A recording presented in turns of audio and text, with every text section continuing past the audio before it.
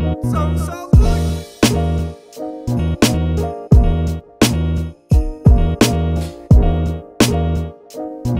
Año 2018, esto es Urban de Pro, tercera temporada, grandes invitados con grandes entrevistas, mi gente. Yo, si quieres te la recito, no soy bla bla bla. Este año yo me he visto con Sudacas Brand. Esta es la Real Connection, el Bigan con el Slack. Esto es Urban de Pro, empezó el All Star. Urban de Pro 2018 en la casa. Bienvenido mi gente de Real Connection, saludos muchachos. Yeah.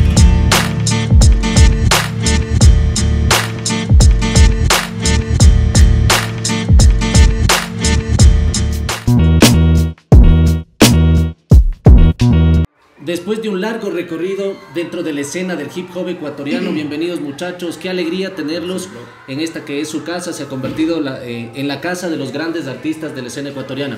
Eh, Real Connection, ¿en verdad ustedes son una Real Connection? Eh, claro, brother, obviamente, pues eh, nuestro nombre, nuestra agrupación tiene un significado. Primeramente, el real por el motivo de que al hacer nosotros hip hop conciencia y enviar un mensaje a través Claro de nuestra sí. música, entonces de igual manera lo que cantamos tenemos que aplicarlo en nuestra vida diaria. De ahí viene el tema real. Lo que es connection eh, sería eh, la conexión que tenemos yo con mi hermano, la misma mentalidad que tenemos, o sea, y además la combinación de estilos. Él es eh, R&B, él tiene diferentes flows, yo soy más rapeado, entonces hacemos una Tiene como que, como que más musicalidad, ¿no? Sí. Él, es- él es la, la- la voz que le pone la melodía a las canciones. ¿Cuál es el sentimiento en torno a una trayectoria que en pocos meses empieza a lograr frutos? Nos topamos con ustedes en el Boulevard de las Naciones Unidas, gran concierto, y notamos que existe un público bien ganado, la Real Connection en la casa. ¿Qué se siente? ¿Cómo han trabajado? ¿De qué forma instruyen ustedes su estilo para que logren resultados a corto tiempo? Bueno, eh, primeramente para nosotros es un honor estar aquí en Ur- en Urban de Pro. Siempre bienvenidos, hermano. Y pues nada, el sentimiento que te podré decir a lo, a lo largo que llevamos trabajando con mi hermano, eh, creo que el público que nos sigue, nos, nos- primeramente nos hemos ganado, sí, porque nos ha costado bastante. Y el sentimiento es full grande, la verdad. Es bien grande porque te llena el, el saber y el simple hecho de que las personas que te escuchan se identifican con lo tuyo.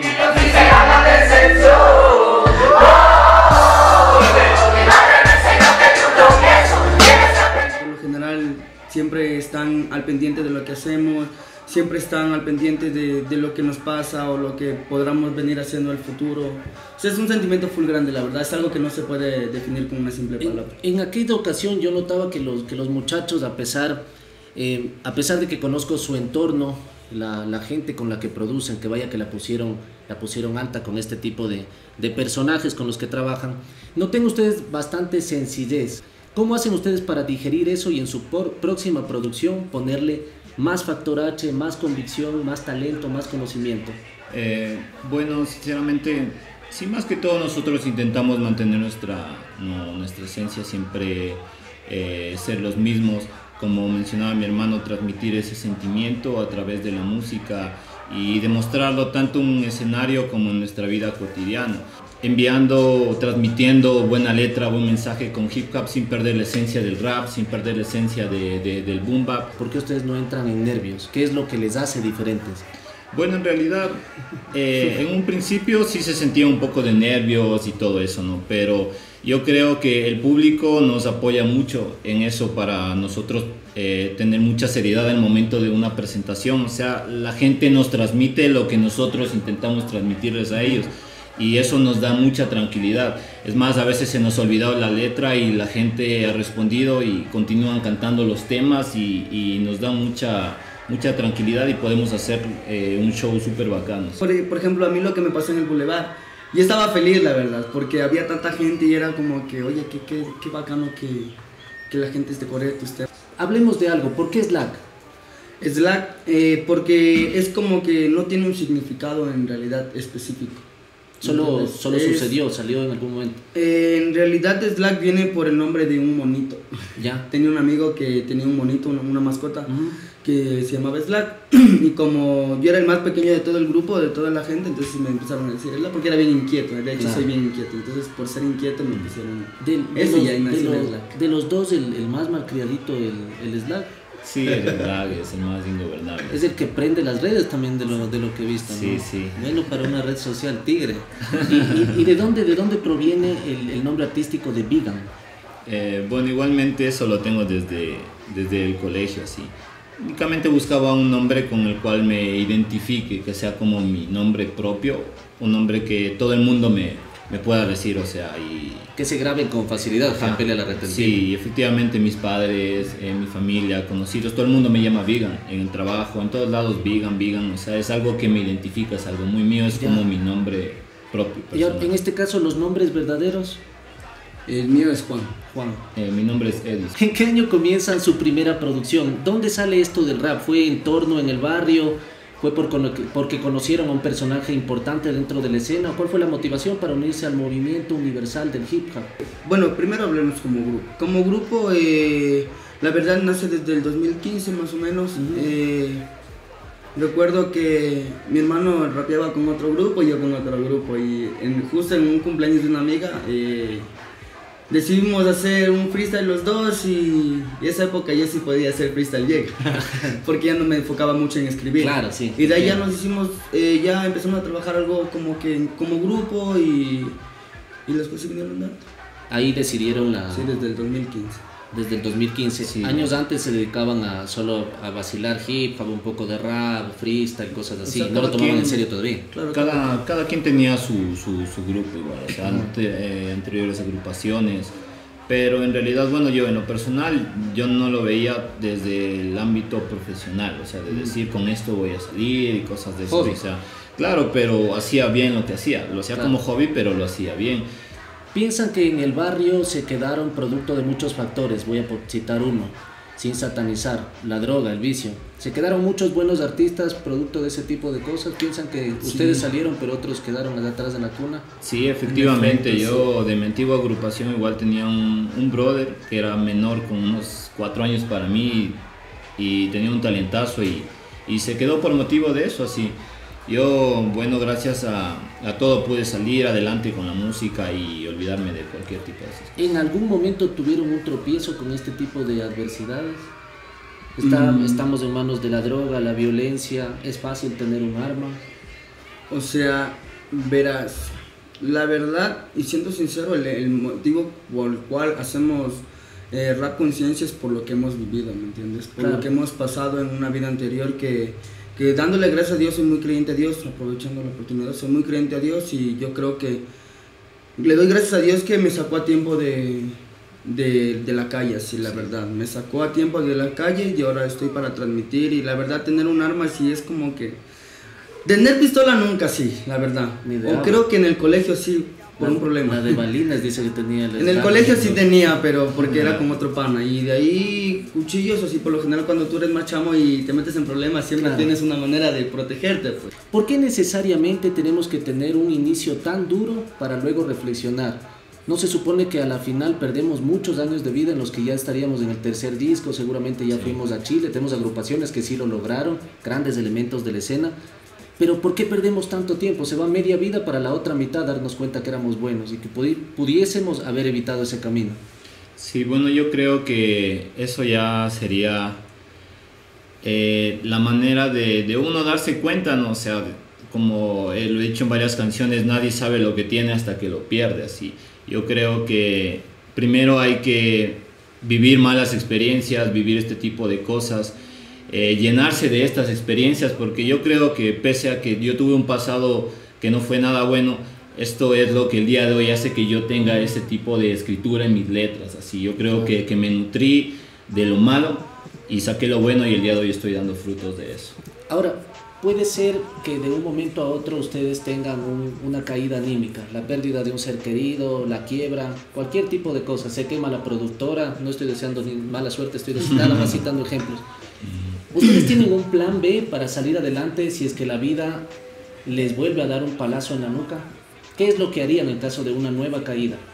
Y yo en efecto sería seguir buscando la manera. ¿A, a qué rapero ecuatoriano le tienen ustedes como, como leyenda, como el ejemplo a seguir? Puede ser contemporáneo, de la actualidad, del pasado, un rapero histórico. Bueno, yo, o sea, como artista, porque como persona no lo conocí, es al finado supremo de estrategia. Es una persona que yo admiro musicalmente bastante, pese a que no tenía un super flow como raperos internacionales, pero me llenaba mucho las letras, eh, todo, o sea, lo, lo, lo, lo que era su música, su arte, y, y me llevo mucho, mucha admiración hacia este rapero. Creo que el coincide también con, con- con- con el finado supremo. Las redes sociales, con, con eso comencé a manera de broma, las redes sociales hoy por hoy se convierten en el horno de pan de, la- de las nuevas, de los nuevos proyectos artísticos del hip hop a nivel de cualquier tipo de música. Pero hay un punto en el que nosotros utilizamos las redes sociales para armar guerras. ¿Qué piensan que se puede cambiar eh, en las redes sociales de nuestro país para que el movimiento se una y dejen de ver de estas peleas de parece que se arranchan la lonchera por medio de comentarios? Y eso nos hace daño a todos. El Sí, nombre.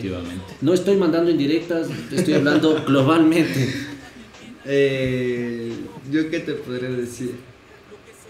La verdad, la única manera que creo que sería de solucionar las cosas es trabajar y, y eso, o sea, seguir trabajando y si es que alguien, por lo general siempre hay envidias, ¿me entiendes? Entonces si es que hay algo que no te agrada, pues por lo general uno como ser humano va a fallar, va a decir, no, es que tal cosa pasó, ¿me entiendes? Ahora, entonces una red social puede evitar que se encuentren en un concierto y se metan una paliza, porque más bien lo solucionan por mensajes y comentarios. Claro, porque se puede hacer por inbox, cualquier problema se puede arreglar por, por interno.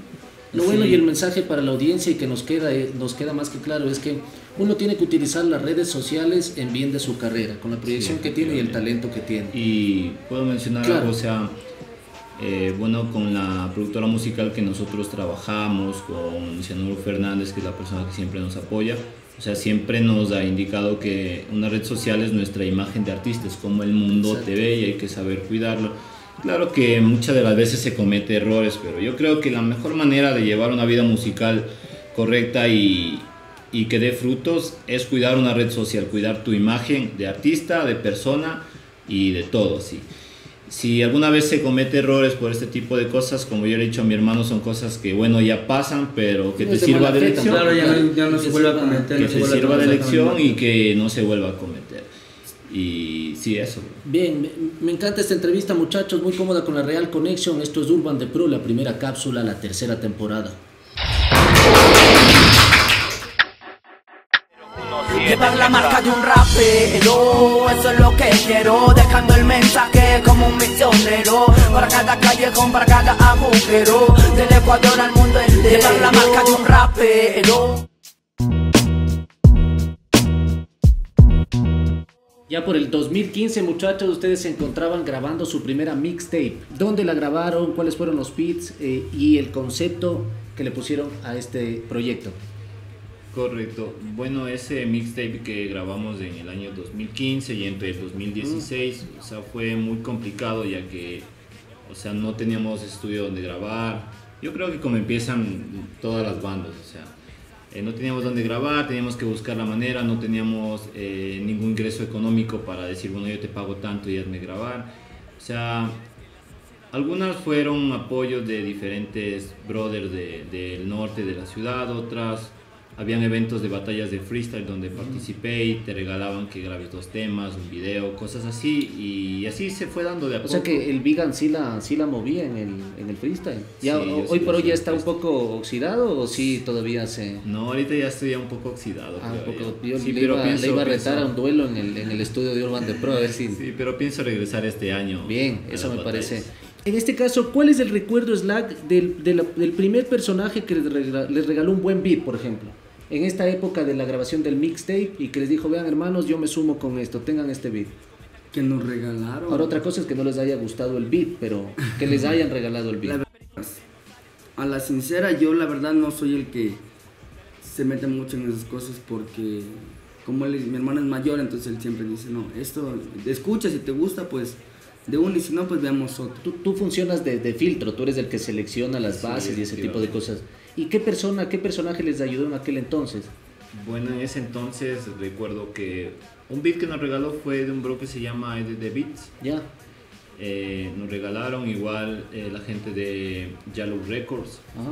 de nos acreditaron grabando un tema y un bro que se llama Bossy Rap nos apoyó con varios temas grabando en su estudio, la gente de God in the Street. Hubieron muchos que en verdad nos dieron la mano, sí. Un- Eh, un saludo para los panas de God in the Street. A ustedes les tocó estar de pica aquí, pica acá, Sí, moviéndose por sí. todo lado, pero tuvieron perseverancia porque los muchachos hacen una mixtape en el 2015 y tiene incluso un fit internacional. Sí, Con una venezolana, con Gucci, que se fue para Chile. ¿Ya? eh, que aprovechando la oportunidad, sé que ella nos sigue bastante en las redes, le mandamos un saludote a Gucci, esperemos que estés bien y pues nada, abrazos. Esa es la gratitud del movimiento ecuatoriano del hip hop para con los artistas internacionales. ¿Ustedes logran esta conexión producto de redes sociales? ¿Cómo, cómo fueron conociendo a esta gente en el exterior? O, Bueno. promo- o simplemente promoción de temas musicales, por ejemplo. Sí, efectivamente. Bueno, le conocimos personalmente hasta a este personaje, así, Ya. a, a Gucci de, de Venezuela. Tenía un buen flow, nos pareció una persona que tenía una carrera musical igual muy buena, no tan grande, no, pero Claro. era muy buena y nos pareció bacano realizar un feed con, con En, en el mundo artístico todo suma. Tampoco quiere decir que tenemos que grabar con el que es y con el que no es, pero todo suma cuando uno está empezando su carrera. ¿En qué punto se aclara el camino? Ustedes eh, empiezan a formar parte del misil, que como todos sabemos ya es eh, de, los, de los teams que sacan cada año puro gol, puro gol, puro buen proyecto. ¿Cuándo viene esta oportunidad? ¿Qué pasó después del mixtape? Eh, estábamos en una transmisión en vivo con mi hermano y me acuerdo que estábamos, eh, o sea, eh, haciendo un, un en vivo, cantando temas así uno tras otro, pero eran pedazos, Un mix. pedazos. Ah, un mix. bacán.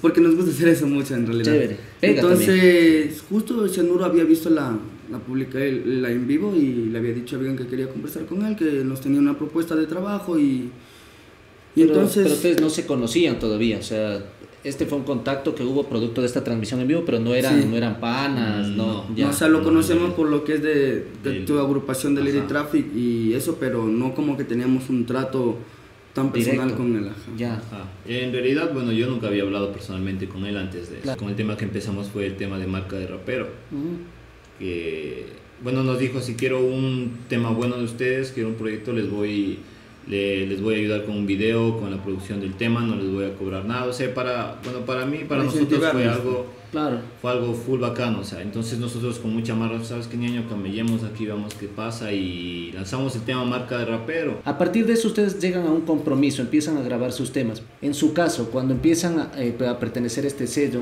al, al- a- al misil, em, ¿cuál fue el contraste para ustedes? O sea, esa diferencia entre hacer música en el barrio, pero sin tener así como que estos lineamientos de ya un productor, un team, un equipo de trabajo. ¿Esa diferencia les fue dura adaptarse? Mm, La verdad, o sea, no, no, fue, no fue tan dura que digamos, o sea, porque en realidad fue muy satisfactorio. La gran diferencia que hubo simplemente por tener un, un canal de difusión musical, Claro. se puede decir. Digamos, eh, tres meses antes teníamos el mismo talento, hacíamos igual el mismo tipo de música. Íbamos a un evento y la gente se salía. ¿Cómo Sí, pasa? Se iba. era- Ya, entonces entramos a Misil, hubo más gente que nos escucha, o sea, hubo un público. Claro, se abrieron los canales de Sí, difusión. y después de eso tuvimos un evento así normal, igual en el barrio, pero ya fue muy diferente, o sea, la gente estuvo atenta a ver qué es lo que nosotros decíamos. Ahora, así. esto es Slack porque se les ve más organizados. O sea, se les ve que están organizados, con disciplina y trabajando en equipo. Indudablemente tenían talento. Solamente que muchas veces hay que pulir eso y como canalizar. Sí, efectivamente. Eh, ¿Qué se siente cuando entran como artistas a un concierto y la gente se va? Me pareció muy importante lo que dijo Vigan. ¿Qué, qué, y, vi que tú hiciste un gesto con la cara porque... Sí, porque, o sea, es que en realidad era feo, ¿me entiendes? Porque nosotros íbamos, oye, nos decían, ya estamos en playa, oye, qué bacano, nosotros íbamos contentos y cuando llegábamos era como los típicos grupos que llevan sus 50 personas ya, por ejemplo, sus panas. Y cuando tienen que rapear los grupos que son nuevos y no están sonando, escogen y se van. Entonces se, se te hace feo, ¿me entiendes? Porque es como que yo voy a, voy a darle un, un show bacano a la gente, algo diferente a lo que muchas, muchas personas escuchan y la gente se va porque les aburre, porque no les gusta el contenido, o no sé, porque simplemente no te conocen o no eres un artista reconocido. Es la, en este caso, llegamos a la deducción que la gente paga la entrada por ir a ver a su pana. Los demás, carpetas. Bueno, o sea, eso nos no- pasaba antes, la verdad. Tú Hoy estás en con tus ya es 50 diferente. afuera pegándote un trago, cuando les toca a los tuyos entras con tus 50, se presentan y dependiendo de eso se van a seguir afuera o se van a la casa de alguien. Esa es la realidad del hip hop ecuatoriano y de la música ecuatoriana. Ahora, ¿cuál sería la solución? ¿Qué propondrían ustedes eh, para que este tipo de cosas no pasen? Yo creo que la solución para esto se resume en una palabra, sería el respeto. El respeto hacia esta cultura hip hop, hacia otros artistas. Yo lo puedo decir, eh, hay eventos en- de barrio que yo no rapeo, pero yo voy a ver, me gusta, me Justo encanta. te iba a poner el pie con Hay veces que O voy eh, solo o nos dicen, oye, qué bacano Real Connection, rapees en unos temas, rapeo, lo disfruto. O sea, eso no lo hago tanto por hablar de humildad ni nada, sino por respeto. Por respeto Bien. público, por respeto a la cultura hip hop en general. Sería, es muy sencillo. Por lo general, con Vegan cuando no tenemos tocadas, oye negro, ¿qué vamos a hacer hoy día? Hay evento, vamos. Hagamos presencia, por lo menos presencia, porque a la final eso creo que es lo que más le agrada a la gente, ¿me entiendes? De una u otra forma están haciendo medios también. Ajá, nos gusta estar ahí siempre. Por lo general, al menos a mí sí me gusta.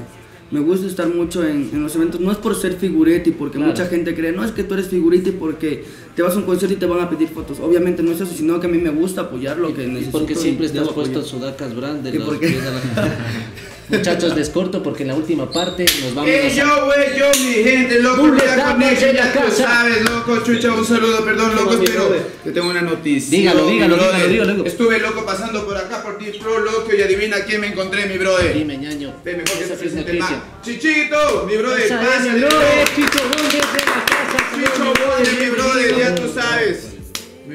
De. Claro, mi hermano, bienvenido. Ahí tiene varias notas, loco, que quiere hablarnos ahorita, loco, y disculpen, loco, que les contesté la nota, pero... Viene, Esta viene nota que embalado, sí. ahora. Sí te escuché que llegaste en el helicóptero. Pateando que el se trae perro. Chicho Wonders. ¿Cuál es la nota pro? ¿En qué andamos? En- andamos trabajando, pues, eh, entonces la nota pro basado ahí, Quito, Ecuador, Valle de los Chillos, trabajando con varios artistas acá, profesionalizando la situación y para adelante con la MUC. Es decir, este es un emprendimiento. Es disquera, es sello, es panas, somos familia y estamos trabajando, trabajando juntos para, para ayudarnos entre nosotros, para salir adelante y que la música, se, la música crezca y que salga. En este caso, Chicho, producción global, mezcla, grabación, to- todo lo que comprende la- hacer un proyecto nota, discográfico, la, la nota. Por eso es la nota. Todo pues. lo que es la nota. Estamos trabajando en el Huerto Records, DJ Eno 5, y ahí estamos eh, varios artistas eh, saliendo de ahí, grabando ahí, haciendo videos. Saludos a la gente de los videos también que están apoyando a ¿Sabes, todo, todo, desde de principio a final, ¿no? Porque Em, esto es un trabajo difícil. Uno de estos días pensaba irme a pasar unos días en el valle y grabarme un par de temas. Tengo por allá un par de colegas. Eh, ¿Dónde nos dirigimos? ¿Cómo nos vamos a la nota pro? A la nota pro no pueden ir, pero pueden ir al Huerto Records. que Queda la dirección, promoción que de la queda en, el, eh, queda en el peaje, desde el, el puente amarillo, ahí es una caminata para arriba, se van a cansar antes de llegar al estudio, Compren compren quinche. agua o compren algo, pero, con pero quinche. llegan. Pero- pero vayan con Es antes de la Simón Bolívar y llegan porque llegan. Chévere, redes sociales para que la gente lo visite. Eh, redes sociales, eh, Twitter, eh, ¿cuál es el otro? Instagram, Instagram, Facebook, YouTube, Todas las redes sociales. Todos eh, ahí nos pueden encontrar, pueden encontrar el disco nuevo de Richie del Valle en Spotify, Google Music, Claro Music, todas Está esas ahorita. El disco se llama Amor, Dinero, Los Socios y la Farisea. Es largo el título, es un poco de... Parece el de hasta cuándo. Claro, es, ahí, es, es, es algo- de trap criollo. Saludos a todos los grupos de la Nota Pro, Sucios Socios, Lírica y Flavor pronto. Eh, mi disco se llama Quien Chucha Escucha Chicho y también eh, Las Superaventuras de Chicho One. Cela Valens pronto, Big Man pronto. Un saludo a Kenny Sinaka de Manta. Eso somos la nota y estamos ahí creciendo y dándole para adelante. Medio padrón electoral. Ahora yo, yo le, quiero, le quiero comprometer en cámara. Gracias, Bullet, por traer a tremendo personaje, gran Saludos. amigo de la casa. No podía perderse tampoco. Le comprometo que usted venga al ser este año y tengamos una entrevista para que usted explique quién chucha escucha chicha. Eso. Esto es Urban de Pro Pero más, más cerquita al valle, por Esa favor. es. Aplauso para Chicho.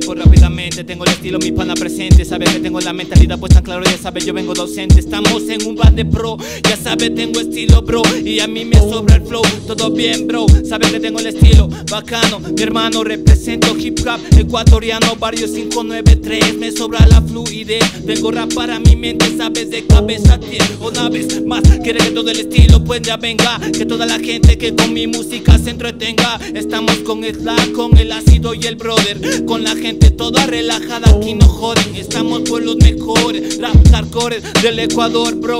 Es la que digo, sabes que aquí yo sigo con motivación Yo, con motivación.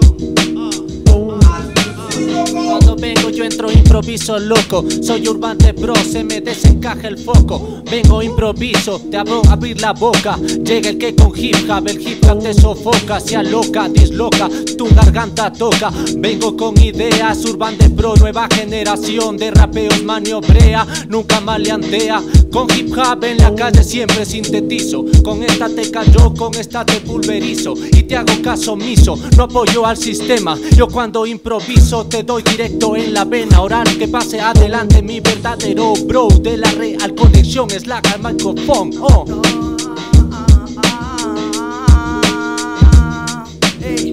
Cambiando el estilo, ah, aquí en Urban de Pro, yo soy Missile Sound, represento Real Connection, motherfuck lo que traigo es hip hop conciencia y no me interesa si la gente ya me señala por mi buena destreza, yo no quiero. Que solo quiero que la gente piense cosas malas de mí, no, no, no me interesa, my friend, fuerza y paz para toda mi nación. Es lo que les digo desde Urban de Pro, Real Connection en la casa, esta es la buena acción.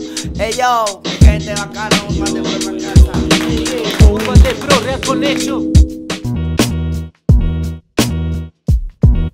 En el hip hop ecuatoriano, muchachos, es fácil hacer un feed. ¿En qué se basa hacer un buen feed? Para que sea un hit, para que luego se pueda proyectar a hacer un video. ¿Cómo seleccionan ustedes? Bueno, para hacer un fit yo creo que más allá de trayectoria o algo así, creo que tiene que ser una persona, un rapero que tenga talento, porque no es eh, justo decir, bueno, eh, tú eres mi pana y porque eres mi pana yo grabo contigo. ¿Cómo le dices que no a alguien que en un futuro puede ser más pro que tú y él revertir las circunstancias? O sea, ¿de qué forma le podemos explicar a alguien, no es la, yo sé que quieres con ácido MC hacer un tema hace mucho tiempo, pero en este caso no hay chance. No se le puede ser, no se puede ser grosero con un artista de esa forma. ¿De qué forma explicaríamos si es un pana más que todo un yunta? Verás, por ejemplo, eh, la manera de decir, y obviamente puede ser que quien quite en un futuro eh, sea mejor que otros artistas, ¿me entiendes? Claro. Pero mientras que tanto, ten- primero nosotros vemos primero eh, eh, la perseverancia, cómo él trabaja, Que tenga disciplina, que sea un- un pelado que sea siempre centrado y que le guste trabajar como a nosotros nos gusta trabajar, ¿me entiendes? Alguien que vea la música como un estilo de vida, no solo algo como que, ah, no es que me gusta rapear y, y ya, o sea, Y, y, y en, otra, en contraparte a eso también que compartan los mismos contenidos o no es necesario. Yo creo que, que no es tan necesario. O sea, se Nosotros puede- se- estamos abiertos para... Pero ¿cómo grabas eh, un rap? Eso quisiera que expliquen ustedes muchachos con alguien que en sus temas dice mata a los chanchos y ustedes dicen salva a los chanchos. ¿Cómo logramos mezclar esos contenidos? Yo creo que como teníamos, no voy a mencionar, teníamos pensado hacer un feed anteriormente, o sea, con un grupo que es totalmente diferente Justo a con el nosotros. que mata a los chanchos, claro. Ya, teníamos pensado, no habíamos hablado ni nada, entonces la temática hubiese sido de que el bien y el mal, algo así. Ah, ya. Algo así el bacán, eh, lo bueno y lo malo, y hacer algo, alguna Así temática algo como, que como- nadie ni como- nosotros algo, algo como tiene eh, ¿cómo se llama? Los raperos cristianos con mexicano con Ya. Con Claro. Montes, no sé. ese tipo de- eso, de así mezclas, ese claro. tipo de Claro, y, y no necesariamente el cristiano se vende en el discurso, mantiene, pero es un discurso un poco más real, más calle, con O otros también lo que ¿no? se puede realizar es simplemente hacer un tema de rap, bumba, rimas, sonidos, lírica. Algo más como, claro, mi experiencia individual dentro del rap. También no es necesario tener una temática de hip hop conciencia Claro, o no. un hardcore, sino un rap, boom bap, se puede hacer así, no hay ningún problema. ¿Pensado en qué otro tipo de género pueden incursionar o qué fusión harían con, con el rap ahora que tenemos tantas tendencias nuevas, tantas corrientes? Verás, a mí a lo personal lo que sí me gustaría hacer como una mezcla sería hacer como un tipo rap eh, mezclado con jazz. Ya, Porque a mí a lo personal me gusta mucho el jazz o no sé, un dancehall, un dancehall. ese, ese Eso. Es, ese es otro quaker. Pero por ejemplo, por el lado del, por el lado del jazz, como la última entrega de KCO, El Círculo, que tiene, esto ya es banda en vivo y todo Claro. tipo de... Sí. Me, me gusta la idea, me gusta este tipo de fusiones y experimentos que a la final con disciplina dan, dan un buen resultado, ¿no? Es que no haría. Esa debía haber sido la pregunta inicial. No, en realidad yo creo que estoy abierto a todo género. Sí. Sí, pero eh, sin perder mi... La esencia. Exactamente, o sea, digamos, yo te puedo cantar cualquier género el que tú piensas, así, pero no voy a demigrar a una mujer, no voy a, a decir consume drogas, porque sería totalmente contrario. O el típico vamos puedo- a la discoteca y qué tales y qué tales. Claro, Ya, pero de ahí yo, yo puedo estar abierto a cualquier género. Yo creo que esa es la, la manera de, de trascender y, y evolucionar como artista también. ¿Qué pasaría si es que un, eh, un colega reggaetonero logra tener trascendencia a nivel internacional y surge en él una idea, un empeño y dice yo me quiero llevar a la Real Connection y a estos otros dos de Guayaquil y a este de Manabí para mi gira, porque les quiero apoyar, me caen bien y me parece que hacen buen rap. Está diferenciando pero quiere apoyar su carrera. ¿Se dejarían apoyar por, por, por, por, un, por un reggaetonero? Yo creo que sí, la verdad. Porque a la final es un trabajo, la verdad. O sea, porque hacer reggaetón no quiere decir que no sea trabajo no sea música. Siempre y cuando eh, no nos, no nos eh, quiera involucrar en otras cosas que no va con nuestro, ¿me entiendes? Claro, la pregunta es con falta. ¿Qué va a pasar cuando esos colegiales que van a sus conciertos digan se vendieron? ¿Tienen ustedes ya pensado qué responder a la audiencia? Esta audiencia que es tan eh, bipolar, que un día están a favor, otro día están en contra. Sí, yo creo que en ese caso, yo lo he pensado varias veces, ¿no? En, en que si cambiamos esto dirán, bueno, se vendieron, pasó este tipo de cosas, pero yo creo que sabiendo hacer las cosas, sabiendo cómo eh, guiarse por ese canal, se puede decir, yo creo que esto no, no, no pasaría. Tampoco podemos decir, digamos, hoy hacemos hip hop conciencia y boom, mañana te salimos con un disco de trap. Yo creo que esa sería la peor. Claro, eso sería Hay algo- que saber ir trascendiendo y Es evolucionando. como que se va gestionando y eso está a cargo del productor como un proceso Sí, evolutivo un de proceso. que- en Claro, qué otras que cosas sí. puede, eh, puede moverse la, la Sí, agrupación. ¿no? ¿Qué artista está en sus audífonos? Vico. Sí. Vico, sí. Vico para mí es mi ídolo así, la verdad. Vico, de hecho, Vico sí. A la mayor parte de raperos a, las- a los que les hago esta pregunta siempre demoran en, en dar la respuesta del artista estadounidense, pero apoyo que siempre sea Luis Armando Lozada Cruz el que está en la punta de la lengua. Vico sí, gran artista, el que, el que a muchos de nosotros nos encaminó en esta, en esta carrera. ¿Qué proye este proyecto en el que se encuentran hoy por hoy en Misil, eh, ¿cuándo da sus primeros frutos? ¿Qué es lo que tienen pensado? ¿Qué se trae el cianuro bajo la manga? ¿Qué se trae la Real Connection bajo la manga? Eh, tenemos una visión un poco más amplia, o sea, intentar de una u otra manera eh, sonar afuera, inter, eh. Proyectarse con este, con, Sí, con este efectivamente. álbum. Yo creo que ese sería el salto, pero eh, que lo tenemos únicamente como visión. ¿Su disco cuántos cortes? ¿Cuántos temas va a tener? Tiene un total de 10 temas. 10 temas, es decir, prefirieron hacer menos para dejar con ganas a la Sí, audiencia. eh, Bacán. Luego se viene ya el mixtape. Sí, Chévere. Em, ¿Cuántos feats? Tienen, en realidad, tienen aproximadamente unos 4 cuatro, cuatro feats. Eh, un feat con ZMC, tenemos dos con eh, discípulos y el tema con Soires Nice que ya está montado. Ah, buenísimo, buenísimo. Ese, ese es una, una gran primicia y es algo que de ley va a causar polémica, por, lo- al menos en la, en la escena, en la escena ecuatoriana. El nombre de- del disco en sí sería Claro y Conciso. es la sea claro y conciso. ¿Qué puede detener la inspiración o la carrera dentro del hip hop en tu caso? ¿Qué te puede frenar en este año? ¿O este año estás a todo a, a tope? ¿Vas a hacer todo? En ¿Vas a grabar realidad- videos, presentaciones? Mira, en realidad, ¿qué te puedo decir? He tenido unos tropiezos ahí eh, muy personales, pero igual no me dejo vencer y creo que aprovechando la oportunidad le doy full gracias a mi equipo de trabajo, Sonoro, que es mi, mi representante, mi hermano que siempre me está apoyando en, en lo que decaigo, que es algo muy personal. Y la verdad no, no, no pienso detenerme por nada, es algo que me costó, es algo que en realidad quería, es algo que siempre he soñado. Ha sido mi sueño desde que empecé a hacer música, desde los 13 años más o menos. Eh, siempre ha sido mi, mi sueño. No que la gente te diga, oye, tú eres famoso, que tú eres... No, por lo general es que, que la gente te vea como una persona que, que transmite buenas cosas, no cosas malas, ¿me O entiendes? sea, yo, por eso yo- de mi parte yo a partir de ahora que- saco una nueva de definición gracias al Pigan, al Slack, que tiene que ver con que a partir de ahora yo voy a ser real porque tengo buenas conexiones en la calle. Y estas buenas conexiones son las que trabajan por un hip hop diferente. Esto es Urban de Pro. Muchachos, quería que manden un saludo a su audiencia, promocionen sus redes. Bueno, un saludo ahí a toda la gente que nos escucha eh, de parte de la Real Connection, Vegan y Slack. Búscanos en nuestras redes, en nuestro canal oficial en YouTube, Facebook o Instagram como Real Connection Oficial o también puedes encontrarnos directamente en las páginas de Missile Sound. Eh, agradezco a estos grandes personajes, por sobre todo grandes seres humanos a los que he tenido la oportunidad de irlos conociendo en el transcurso, creo que más del año anterior que pudimos ya compartir pequeñas entrevistas y, y lo- los fui viendo en escena. Ha sido un gran programa, Urban de Pro, tercer año, seguimos en el camino apoyando a la escena nacional, productores, gestores, este año entran los grafiteros, mucha gente de la calle, estuvo con nosotros Chicho Wonders, saludo a mi colega, a mi brother Bullet Amas, a todo el team de Urban de Pro.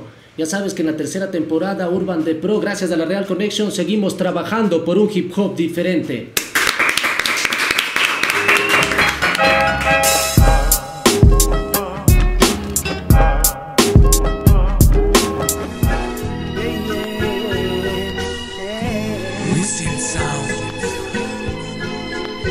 Real Conexión en la casa, checa.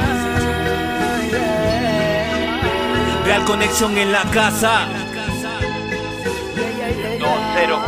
Llevar la marca de un rapero, eso es lo que quiero Dejando el mensaje como un misionero. Para cada callejón, para cada agujero Del Ecuador al mundo entero. Llevar la marca de un rapero, eso es lo que quiero Dejando el mensaje como un misionero. Para cada callejón, para cada agujero Del Ecuador al mundo entero. Llevar la marca de un rapero, cueste lo que cueste. Duela a quien le duela, pese a quien le pese. La vida que manifieste. Que somos aquellos que luchan cual del mensaje los dueños. De grandes hasta pequeños. El estilo natural, siempre fenomenal. Hagamos Esa es la que hay y más y más mensaje Para todos aquellos que creen que es un destrabe Y no lo es, y no lo es yeah, yeah, yeah, eh. Como quieres que la sociedad no te trate mal Si al fin y al cabo Es el ejemplo que tú mismo das. Lleva tu marca, marca tu papel, tu lapicero Siempre intacta, intacta, donde vayas compañero. Llévala,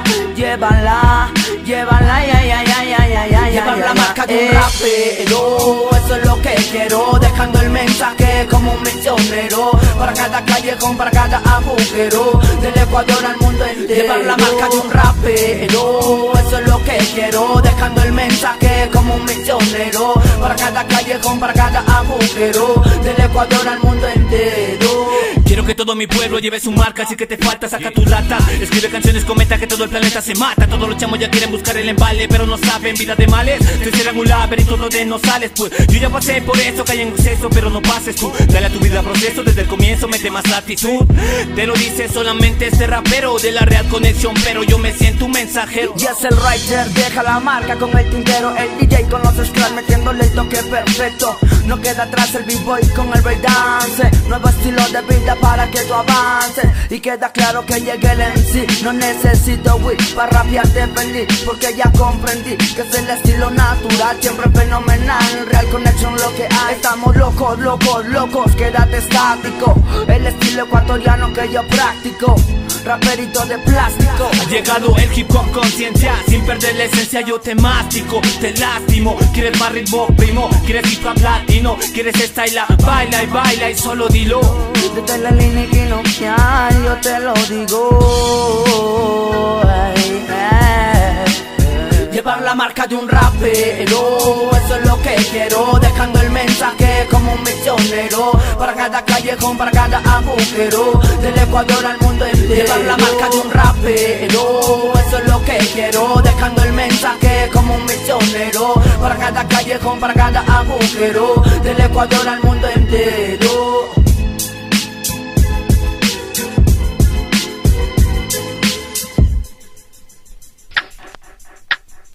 Ey, Reaction Dicho vos de ¿quién lo hizo? Urban de Pro, Pro. Yeah. conciencia, Urban de Pro